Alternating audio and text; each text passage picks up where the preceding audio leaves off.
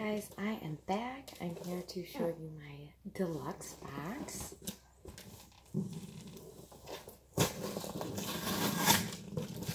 I haven't even opened it yet. Literally just got here. Oh, Jeffree Star skin coming soon. Okay, let's see what we got. Oh, okay. So first thing is the gloss in Six Feet Under. I've got a velvet trap in Dominatrix. I'm excited to try these. Oh, I got a lip balm in Widow. That must be, well, maybe this is from Cremated. Okay, um, Velour Lip Scrub in Witch's Brew.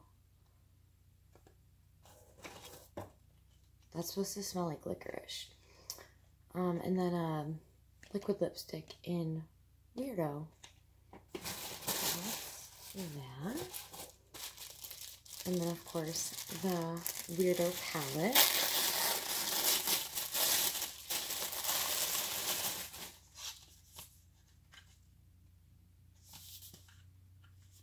Maybe. Can't get it open.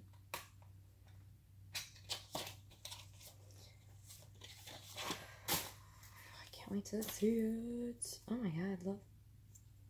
Oh. I don't think that shade's right. it's like turned sideways. Um I love this so it's so pretty. That's so weird. Is that like a Okay, we'll revisit that. Not a big deal. Isn't that weird though? Alright, anyways. Okay, the next thing is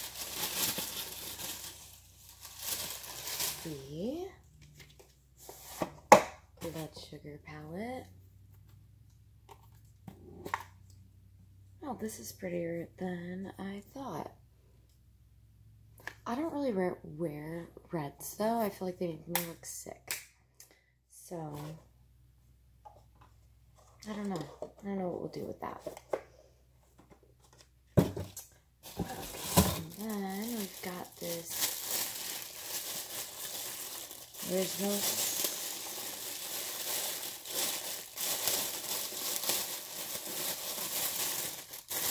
Oh, look how cute this is. Little bat bag.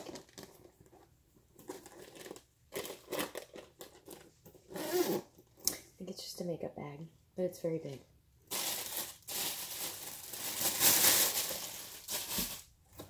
And then we have the Volume 2 Nudes.